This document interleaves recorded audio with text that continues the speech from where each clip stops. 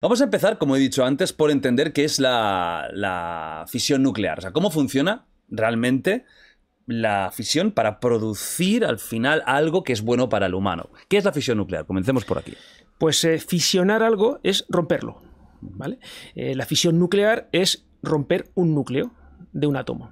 Eh, todos sabemos de nuestros estudios de primaria que los átomos están formados por eh, un núcleo y un, enjambre de electrones alrededor. Al principio se pintaban como unas órbitas, pero en realidad es como un enjambre de abejas, más bien, ¿no?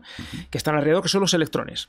Nos olvidamos de momento de los electrones porque son secundarios en la energía nuclear, eh, porque bueno, tienen muchísimas aplicaciones, por ejemplo, la electricidad, la conducción de la electricidad, la electrónica, todo tiene que ver con los electrones. Pero eh, lo, que, lo que realmente nos interesa en la energía nuclear es lo que está en el núcleo, por eso se llama energía nuclear, precisamente.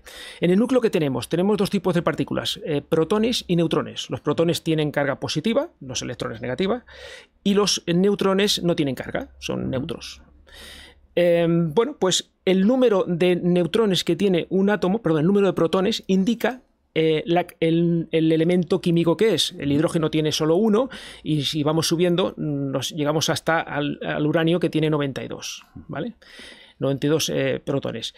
Pero dentro del núcleo, el uranio tiene muchas más partículas porque también tiene neutrones. Y entonces hay dos tipos de uranio en la naturaleza, el uranio 235 y el 238 son dos isótopos, pero no hace falta que nos memoricemos la palabra, sino dos tipos Estás apuntando, ¿eh? con, papelito, lápiz y... Dos tipos de uranio. Vamos a decir que son dos tipos de uranio. El, uranio 235 y el uranio 238. Bueno, eh, la fisión consiste en romper un núcleo muy grande, como es el de uranio, que tiene muchas partículas en su interior.